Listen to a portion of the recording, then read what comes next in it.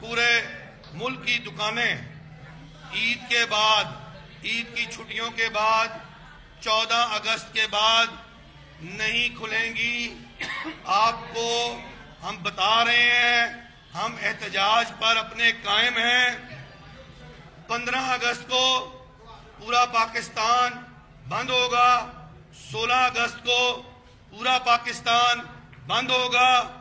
اس کے بعد بھی بات نہ منی بات مانی نہ گئی، مطالبات تسلیم نہ کیے گئے، تو پھر چھبیس اگست کو اور ستائیس